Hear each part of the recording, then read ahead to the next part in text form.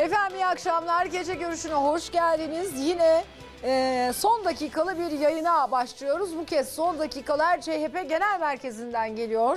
Çünkü parti meclisi toplantısı vardı ve bu parti meclisi toplantısında yerel seçimler için bazı illerin adayları belli oldu. E, İstanbul'da Ekrem İmamoğlu, Ankara'da Mansur Yavaş, Bolu'da Tanju Özcan, Bursa'da Mustafa Bozbey, Balıkesir'de Ahmet Akın. Ee, birazdan e, parti sözcüsü eğer varsa diğer illeri de açıklayacak. Açıklamalarına devam ediyor. Şu saat itibariyle biz de zaten CHP Genel Merkezi'ne Melike Görür'e gideceğiz.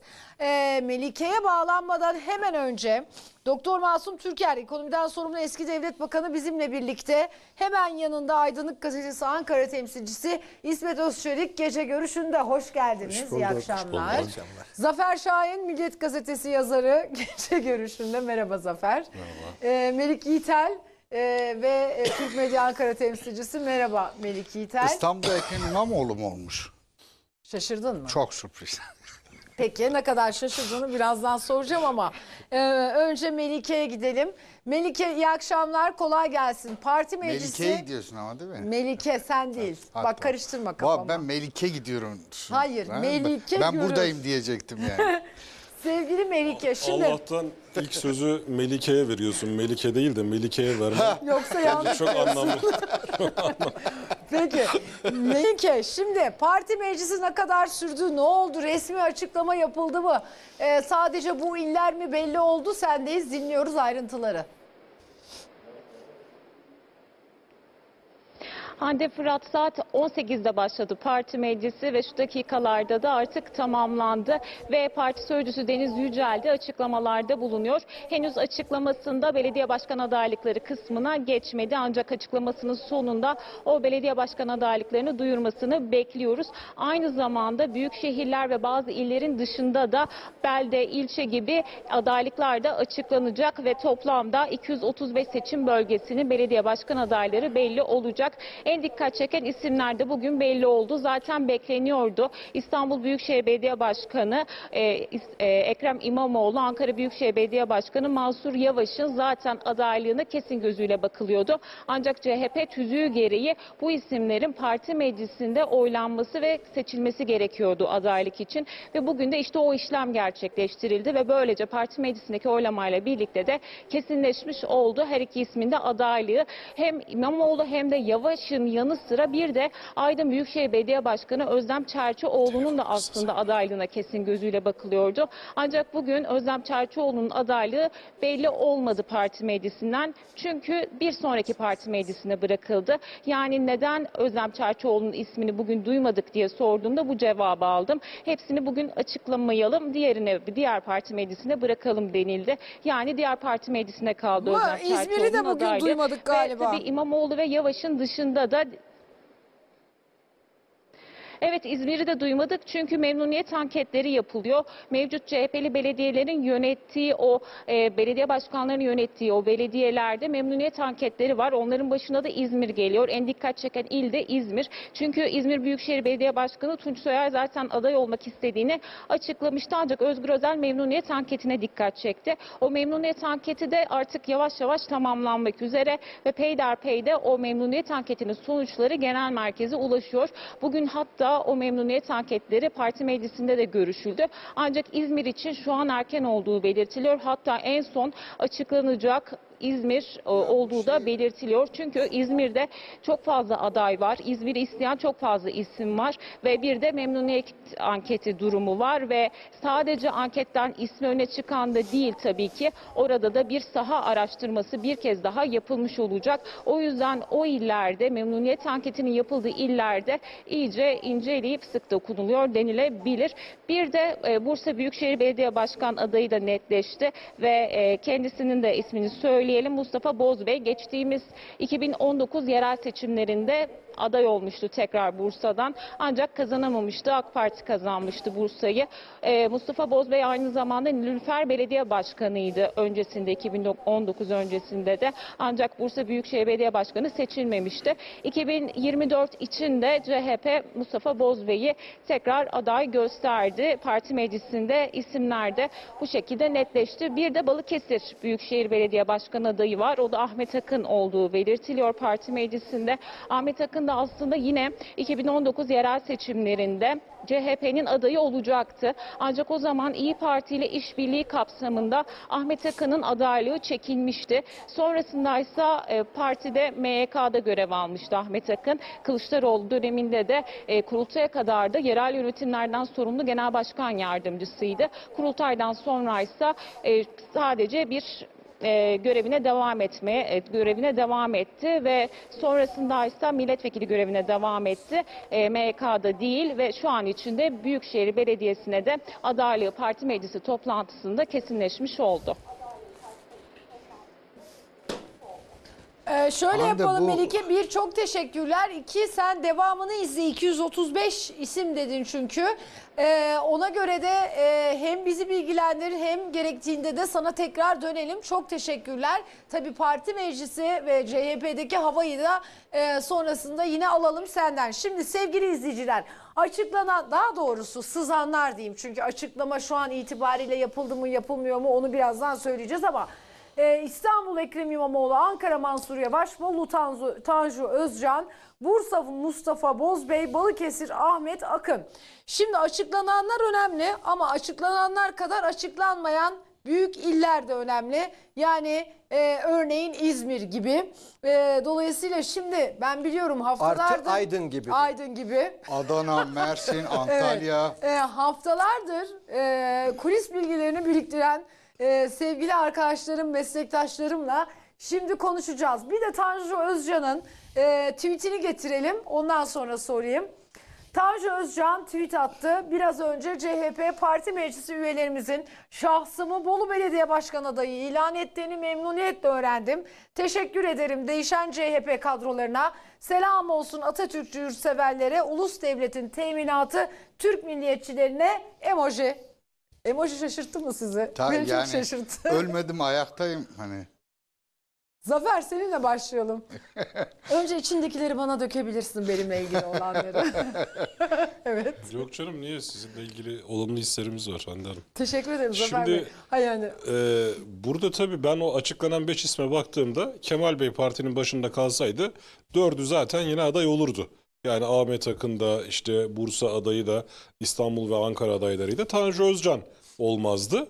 Tanju Özcan da e, onun mutluluğunu yaşıyor anladığım kadarıyla. Onun için E, emoji koydu emoji de e, onunla. Ya şimdi bu herkes işte Atatürkçülük, yurtseverlik, işte Türk milliyetçileri selam olsun. Ya e, bir taraftan da HDP'nin eş başkanı sizin genel başkanınıza eş başkan yakıştırması yapıyor. Yani bu Atatürk'ü ben hep söylüyorum Atatürk bu milletin ortak değeri. E, hepimizin e, saygı duyduğu, sevgi duyduğu, belirli bir yerde konumlandırdığı ülkemizin kurucusu. Yani bu özellikle politikacıların işine geldiği zaman Atatürk'ü kullanan politikacıların tek elinde değil. E, dolayısıyla senin partinin genel başkanına e, yeni adıyla DEM Parti eş başkan diyorsa e, birlikte yol yürüyorsanız e, artık bu Atatürkçülük işini kendi tekelinize görmekten bir vazgeçin. Onu söyleyelim.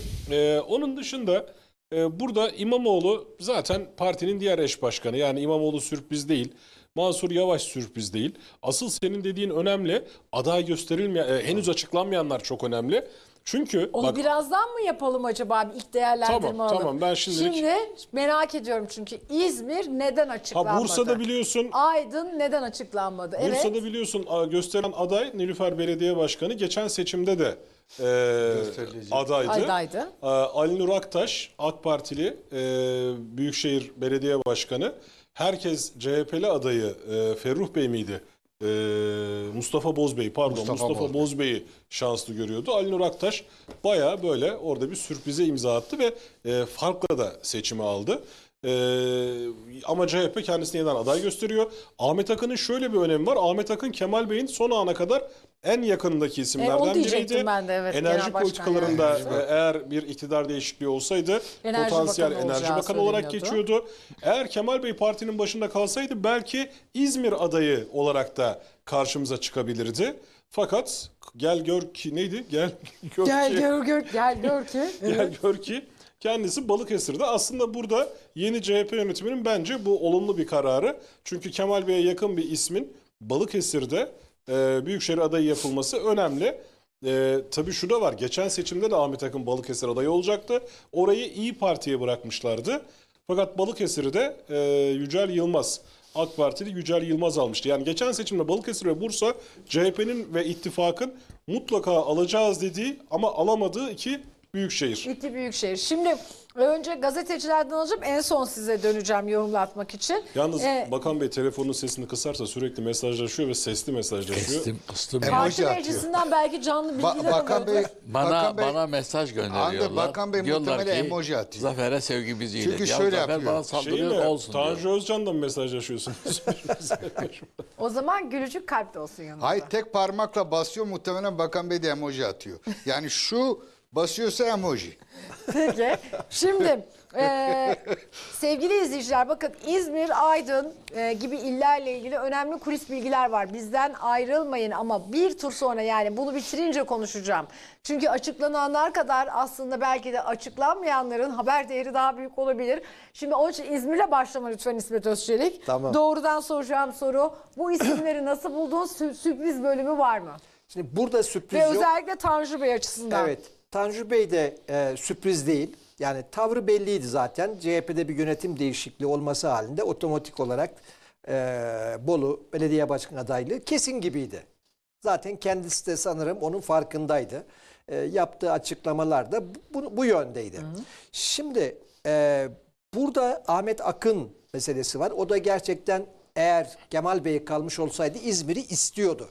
Yani ben birebir Kemal Bey'in en yakınlarından duyduğum ifadeydi bu. Ee, şimdi niye Ahmet Akın tekrar Balıkesir'e kondu denirse şöyle bir şey. Ahmet Akın geçen seferde İyi Parti ile biliyorsunuz bu sefer ittifak yok gözüküyor. Şu ana kadarki manzara bu.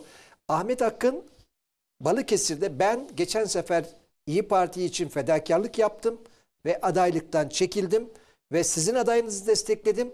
Bu sefer de İyi Partililer siz beni desteklemek zorundasınız. Yani en azından e, bir Ortada borç bir işbirliği yok. yok ama bir borcunuz var tarzında bir e, propagandayla muhtemelen e, İyi Parti cenahından da oy isteyecek ki İyi Evet. Parti'nin Balıkesir'de belli bir oy Hatta potansiyeli İsmet var. abi şöyle bir kulis de çıkmıştı. Hani Meral Hanım'ın da Ahmet Akın aday gösterilirse hani geçen seçimden böyle bir e, adeta Evet. e, borç gibi onun adaylığına karşı çıkmayacağı söyleniyordu. Evet.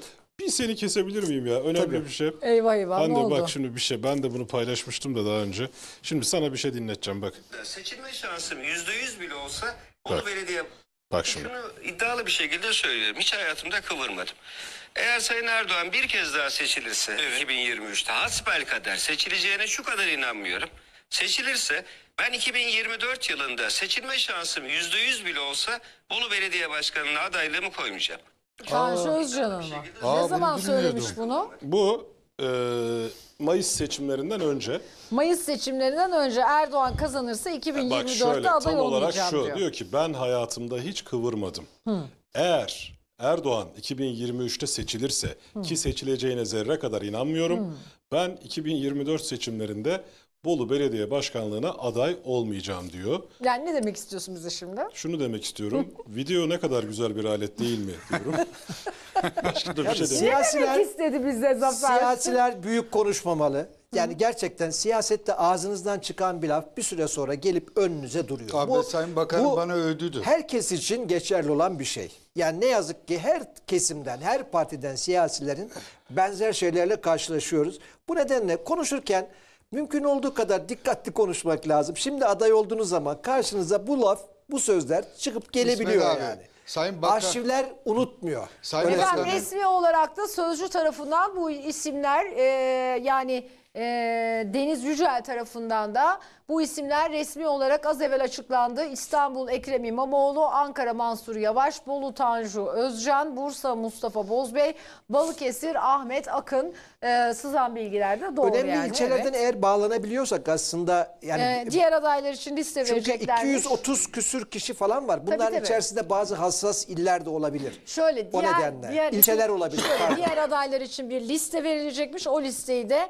e, birazdan muhtemelen Tamam. atacak şey. O zaman şunu söyleyeyim. aktaracaktır. Evet bu isimlerle Şimdi bendeki ilgili olarak. bilgilere göre e, önümüzdeki günlerde parti meclisi daha sık aralıklarla toplanacak ve e, Aralık sonuna kadar yani bu ayın sonuna kadar diyorlardı. önemli sayıdaki belediye başkan adayını kamuoyuna açıklayacaklar. Benim bildiğim kadarıyla. Yani bu e, o Peki nedenle böyle bir açıklama yani böyle mi oluyordu? Ben böyle hatırlamıyorum. Adaylar Ya- daha böyle gösterişli açıklanmaz mıydı? Öyle oluyordu ama böyle daha görkemli törenler yapılıyordu. Şimdi anladığım kadarıyla şimdi parti meclisi onayı da olacağı için anlaşılanlardan perde, e, peyderpey devam edecekler. Sonra tekrar hepsini grup toplu grup. Sonra o açıklayabilirler dediğin ya. olayı toplu halde tekrar Ankara'da bir gövde gösterisi yapabilirler. Evet, Şimdi evet. burada kritik soru şu benim gördüğüm kadarıyla. Şimdi hani e, he- Dem değil mi? Değil mi? Dem oldu Şimdi yeni Dem partinin oldu. adı. E, orada bir espri yapılıyor ya size e, CHP eş başkanı demek içimden geldi Yok falan. diyesim geldi. Diyesim geldi diyor ya şey Dem'in e, eş başkanı. Şimdi burada e, kulislerde en çok tartışılan konulardan birisi belediye başkan adaylarını belirlemede Ekrem İma- İmamoğlu'nun ne kadar etkisi olacağı. Geleceğim. Ona Di- geleceğim. diyesim Bir geldi. dakika Peki. hızlı hızlı İsmet geleceğim. abi diyesim mi geldi? Şimdi geleceğim. Evet. Önce Ya bir de aslında senden alayım. Bu beş şöyle. ismi sürpriz tarafı var mı senin için? Yok. Ee, bundan bu beş isimle ilgili özel söylemek istediğin ne var? Ya ben Zafer gayet güzel anlattı. Ben çok yereli bilmiyorum. ilgilenmiyorum fazla. Yani ilgilenmiyorum dedim hani gerçekten bilmiyorum. Biz ne yapalım? Biz yerel Yo- işte. Yo yo yo. Yerini Bizim bilmiyorum işimiz- derken Ya dünyanın bu Bursa, genelini mi Balıkesir? Bolu bilmiyorum. Yani e, İstanbul, Ankara. Öyle bir söyledi ki şimdi ben, ben- yereli yani bilmiyorum global deyince, de yani ben arkadaş, de İstanbul, internasyonel- Ankara, Bolu, Bursa, Balıkesir Ya ben nesini de- bilmiyorsun? Yani e, gerçekten ben Ahmet Akın ismi dediği gibi hani Ya o müstakbel başka bir segmentteyim diyor yani. Bana bunlarla gelme diyor. gelme Şimdi- diyor. Bana bunlarla gelme diyor. Washington falan konuşuyor. Mesela sorsan Orası tamam? Londra Londra Belediye ben Başkanı burada bundan gol sonra kim yiyeceğimi olur? biliyordum. Ama hak ettin bak yani. Bak ettim. ikili geliyoruz üzerine. Yok, gerçekten. Ben ben yereli severim. Biz- Yo yo Zafer yani şey İsmet Şaka abi de ben yapıyoruz yerel dengeleri gerçekten bilmiyorum. Yani Ahmet Akın ismini ben hani böyle enerji olası enerji bakanı diye geçiyordu. Kemal Bey kazanırsa falan diye bir de Balıkesir'de son anda çizdiler İyi Parti'ye verdiler. Ama benim bildiğim şey şu Bursa ile Balıkesir'i AK Parti'den geri almak çok kolay değil. Bunu söyleyeyim. Tanju Bursa Özcan. ile Balıkesir için diyorsun. Tabii tabii. Evet. Yani hiç kolay değil. Peki. AK Parti'den almak. E, hele Bursa yani belediye başkanı başarılı yani kolay bir iş değil oradan almak.